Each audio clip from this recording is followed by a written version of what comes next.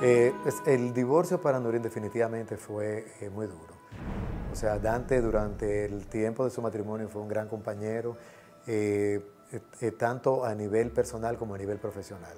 O sea, compartían todo lo que era la producción de los musicales, la creación de la música y todo eso.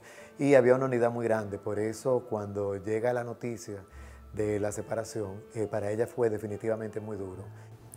Ella manejó su divorcio bien, realmente con mucha fortaleza, eh, admirable como, como, lo hizo. Ella salía, hizo su espectáculo, eh, se fue en dos ocasiones de crucero con sus amigas, o sea, buscó, buscó su diversión y, realmente fue, fue bastante fuerte. Ella vivió ese proceso de la mejor manera que pudo, eh, pero con el temperamento que tenía, sobrevivió, supo sobreponerse y seguir en su trabajo. Punto, sí, le afecta, cualquiera le afecta una, un divorcio de esa magnitud.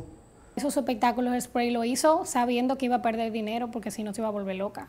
O sea, ella lo hizo sabiendo que iba a perder porque no tenía suficiente para, patrocinio para, para cubrir todo y aún así lo, dijo, lo hizo. Yo yo voy a hacerlo porque me voy a volver loca. Tres dólares por un par de pantaletas. Considero que está muy caro.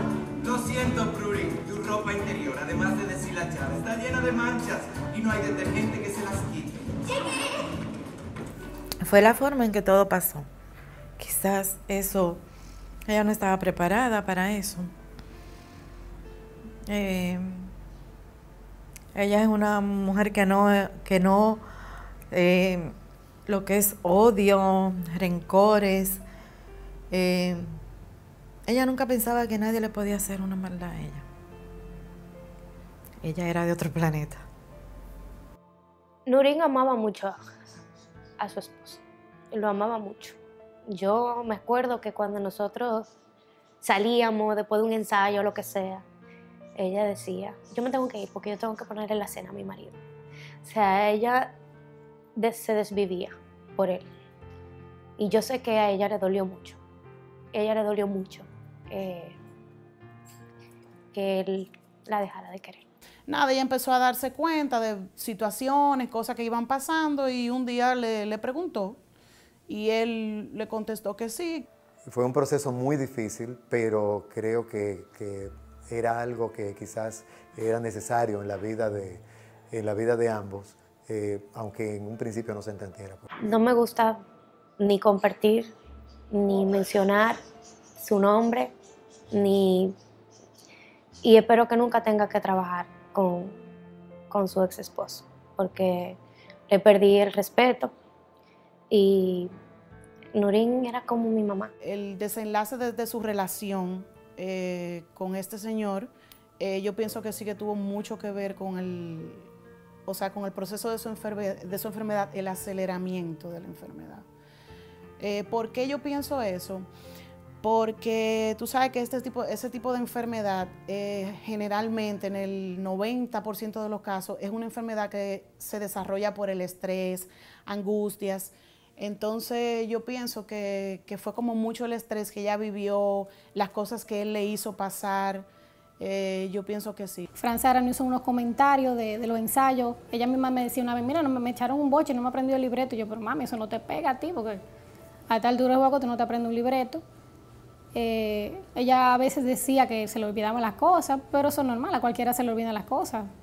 Entonces ella, la forma de ser de ella no permitió que uno quizás se diera cuenta de, lo que estaba pasando. Estábamos ensayando un musical, eh, Hansel y Gretel. En los ensayos del teatro comencé a ver una Nurín diferente. Nada, decidimos venir un día todos a comer para observarla. Ese día estaba grave, o sea, le, costaba recordar nombres, decir cosas, o sea, y aérea totalmente. Ella brillaba y, y después de eso no.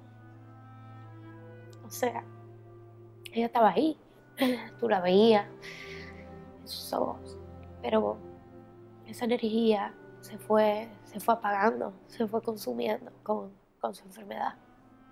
Esa vida que, tenía Nurín en la cara desde que te abría la puerta, de que tú la veías.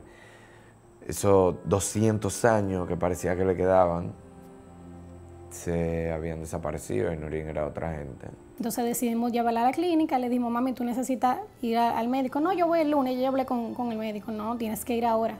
Le hacen la tomografía y es cuando se, se detecta que es un tumor.